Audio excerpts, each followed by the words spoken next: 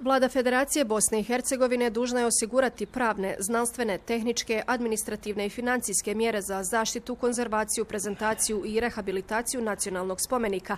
Navedeno je u odluci u proglašenju partizanskog spomen groblja nacionalnim spomenikom. Ugovor koji je federalna vlada imala sa zaštitarskom službom nije obnovljen, tako da partizansko spomen obilježe nema ni fizički niti videonadzor. Rezultat je još jedan u nizu vandalskih činova na način da su polomljeni kameni spomen cvjetovi.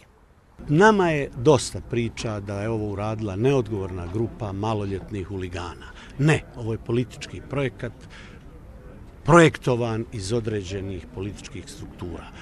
Zbog nepostojanja nikakvog nadzora, nemoguće je znati niti kada se ovaj vandalski čin dogodio, a još manje tko ga je počinio. U MUP-u Hercegovačko-Neretvanske županije poručuju kako su zaprimili dojavu te da rade na istrazi, što kažu građani Mostara. Šta ja znam, sretni grade, nesretni razgrađuju.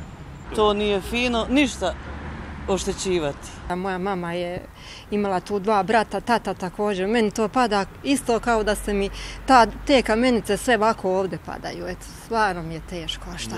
Pa ja mislim da je to sve politički, ništa drugo. Mostarska agencija Stari grad u ime federalne vlade dužna je brinuti se o partizanskom spomenobilježu.